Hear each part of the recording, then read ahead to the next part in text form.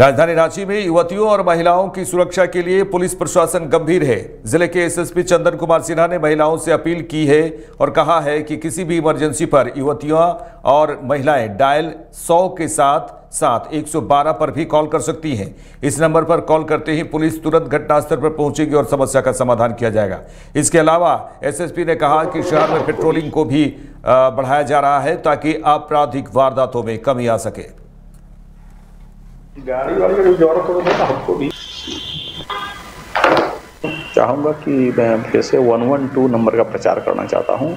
आप हंड्रेड पे या वन वन टू पे, आप अगर कोई कॉल करेंगे तो तुरंत ही पुलिस उसमें रिस्पॉन्ड करेगी।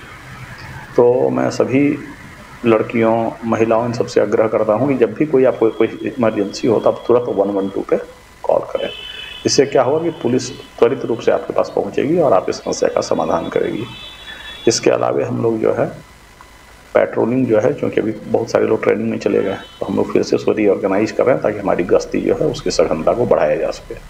चाहूँगा कि